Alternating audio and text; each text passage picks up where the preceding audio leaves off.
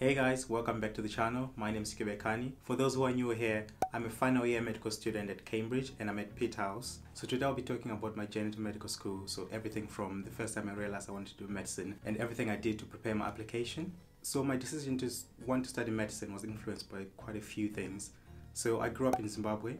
Uh, I think I've talked about that a few times on this channel. And growing up, I enjoyed biology at school. I absolutely loved biology and especially the human aspects of biology. So human biology absolutely loved it. But also growing up, I saw a lot of infectious diseases. So in Zimbabwe, because it's within the tropics, there's a lot of infection and also the advent of diseases like HIV. I just wanted to really understand what was going on with the viruses, some bacterial infections. So I really just was very intrigued and interested to find out more and sort of find out ways I could help. So though I, I, had this feeling that I wanted to help people, but I didn't know what the best way to do that was. So my family tells me that I started saying that I wanted to be a doctor from when I was really young. But the earliest memories I've got of this is when I was around 10, 11, sort of thinking about all these infections and how best I'd be able to help other people. So I started thinking about medicine then. And the fact that I enjoyed biology at school really helped because then it just put me on the medicine path. So with that in mind, I decided to do science-based um, O levels, which are equivalent to GCSEs. So I did 10 subjects um, and I had 8 A's and 2 B's at the end. Soon after my O levels, my family moved to the UK and that and I moved with them. Because I wanted to do medicine, I had to do science A levels. So I picked biology, chemistry, maths, physics. And it was quite a different experience. So to do medicine in Zimbabwe, you had to do well in school. You didn't really have to do a personal statement or you didn't really need work experience. But when I got to Wembley High Technology College where I did my A levels, one of my uh, chemistry teachers was just asking the class like what they wanted to do. And I told her I wanted to do medicine. And she was like, Do you have uh, any work experience? I was like, No. and she was telling me like the application process and the different things that I had to do. It was quite a stressful time because a lot of my peers wanted to do medicine.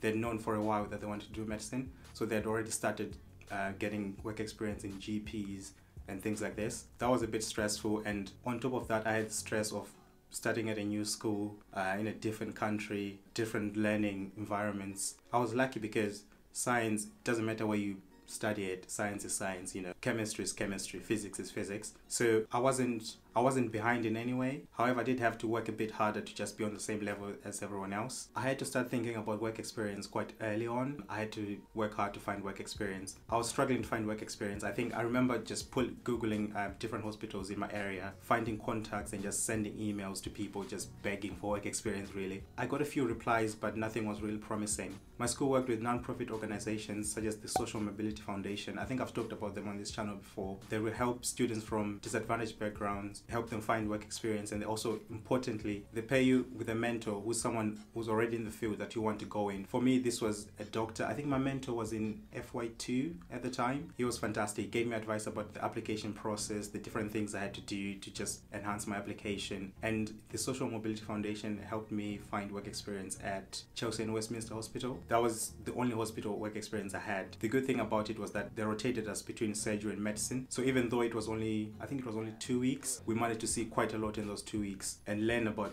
sort of medicine as a career the challenges of medicine. On top of that work experience, I also managed to organize work experience at a GP practice. I did this via a family friend, and the importance of the GP work experience was that I got to see medicine from a primary care perspective, something I hadn't managed to do from the hospital work experience. We've talked quite a bit about work experience on this channel, so you can watch the other videos if you're interested in that. So once I got my work experience sorted and I was certain that I wanted to do medicine, the other side of work experience, in, on top of giving you experience and things you can talk about in your personal statement, it allows you to try out the profession, if that makes sense. So, so for me, I got to see all these doctors, all these junior doctors, and picture myself in their shoes and see if this is what I want to do in like for the rest of my life basically. And I think after the work experience I was certain. So after that I started thinking about the universities I was going to apply to. So this is where things got a bit interesting because I'd done O levels, I didn't have GCSEs although they're equivalent. Some universities weren't particularly keen on that. So I had to email universities ahead of time to say, okay, this is my situation. I don't have GCSEs, I've got O levels, I've done my A levels here, and would you consider my application? And actually sadly quite a few universities said no. Some universities asked me to do to redo maths, English, and science at GCSE level, even though my A levels I was doing I was already doing those subjects. So I just thought I wouldn't apply to those universities. So by the end, I had a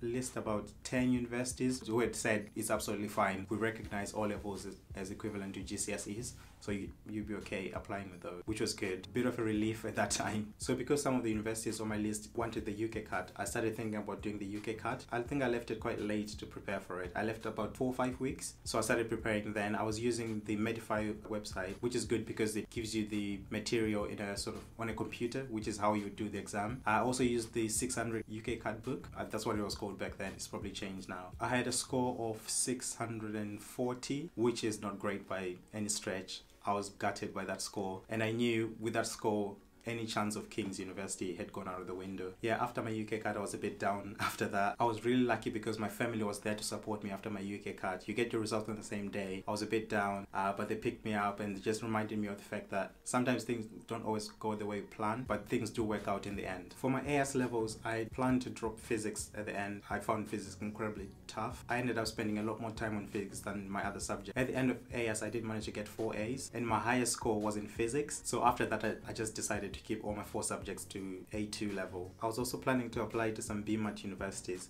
so I started preparing for the BMAT. I did that quite early because the UKCAT had given myself so little time, like a month I didn't think was enough. I was in a fortunate situation because I was studying physics, biology, chemistry, and maths at A level. Those are some of the sciences that get examined in the BMAT. Um, I know quite a few of my friends weren't doing physics at the time had to sort of revise their GCSE physics. I did brush up on my GCSE uh, sciences, but I was already doing science at A level, so it was okay. There's a writing component where you have to write an essay or a short essay. So to prepare for that section, I wrote short essays and I would just ask some of my teachers to read them and mark them and give me some advice. English teachers are perfect for this. You can approach them, ask them to mark your essays that's the best way to do it, I think. And for my BMAT score, they don't give you a single number, so I can't quite remember. They give you like a breakdown of sections. I remember in one of the sections, I think the writing section I had a B, so I think that was alright. so in parallel to all this, I was also thinking about my personal statement.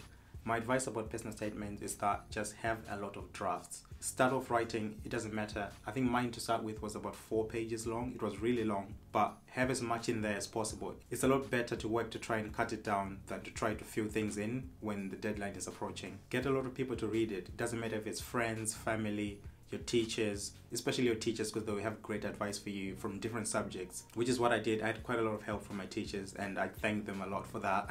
so in the end, I applied to Cambridge uh, with the BMAT because they said they would accept my application. I applied to Liverpool, so Liverpool in my head was a bit strategic in that they didn't ask for the UKCAT or the BMAT. So I was my my thinking was my UKCAT didn't go really well. My BMAT, well, I wouldn't know my score uh, when I apply. So if it doesn't go well, then at least I've got this one university that doesn't use these aptitude tests and they'll just base my application on everything else. So that's why I applied to Liverpool. I also applied to Leicester and Leeds. I believe they both used the UK UKCAT back then. I, I was just chancing it at that point, I think, because my score wasn't that high. And for me, for my situation, importantly, all these universities that said it's absolutely fine for you to apply with your O levels. They would accept them. I also applied for biomedical sciences at St George's University in London. The reason I did that was because at St George's they had a well established route for people to transfer from biomedical sciences to medicine later on. So if medicine hadn't worked out the first time round, I was going to try and do that and do graduate entry medicine at St. George's University. So all in all, it was a lot of work, a lot of hard work over the summer. But at this point, my application was sent and you sort of breathe a sigh of relief. Even though you have the BMAT coming up in November, I sort of breathed a sigh of relief that everything was sent. However, when I first heard back from the universities, I first heard back from Leicester and it was a straight up rejection, no interview, uh, just before Christmas. I just said to myself, it's one university, you've still got three more, so it's fine. Don't stress about it, don't worry about it. And shortly after that, I heard from Cambridge that I was going to get an interview at Peterhouse. I made a direct application to Peterhouse, so I was glad about that and I started preparing for that. I think most schools will have mocks around that time. I just didn't work for my mocks at all, but my teachers understood that I was preparing for the interview. So I had two interviews at Peterhouse and they went okay and went back home. And then after Christmas, soon after Christmas, I had back from Leeds and it was a rejection again, no interview. But it was okay because I had already had an interview, so I wasn't too worried. In all this time, I had nothing from Liverpool. I even got my offer from Cambridge. I think it was in the January time before I had anything from Liverpool. And I emailed them after I had my offer from Cambridge, like, did you get my application? but they replied that they had it and they were processing a lot of people. Soon after that, they invited me for interview. Uh, the interview went okay. The style of interview at Liverpool was very different. Uh, it was sort of the traditional interview for medicine where you get asked questions like why medicine, why this university, that sort of thing whereas my Cambridge interviews were more science based, academic. So at the end of the application process, I had two rejections from Leicester and Leeds, two offers, one from Cambridge, one from Liverpool. Uh, my offer from Cambridge was A star AA. I had also an offer for biomedical sciences at St George's and the offer from Liverpool. I can't remember the grades for that one. It was probably triple A. And on my UCAS form, I put Cambridge as my firm and Liverpool as my insurance. After that, I just started working really hard to meet my offers because you hear these horror stories of people who get offers and then they miss their offers. I was so scared of that happening to me that I just worked myself into the ground. Um, but I think it all worked out fine. I got into Cambridge in the end. I was so happy. I was so glad. I remember when I got the offer letter from Cambridge. They tell you the date where all the letters will be sent. So I spent that day just stressing about it. I didn't leave the house. I was in my bed the whole day. and the letter finally came. Think it was three in the afternoon or something. I remember this like it was last week. And when the letter came through, it was quite thick. So in my head, I was like, okay, I don't think that's a rejection because if they reject it, they just send you like one sheet of paper. It was quite thick, fairly heavy. So I was like, okay, at least, at the very least, I've got, I've been put in the pool. But I opened it and it was an offer. There was celebration all over the house. Uh, it was amazing. So remember, guys, it only takes one offer that's all it takes to get into medicine. If you're watching this video, you're probably thinking about going through this application process. It is quite tough, but it's quite rewarding. Um, it'll be worth it in the end. And I wish you all the best. And thank you guys for watching. We'll see you guys in the next one.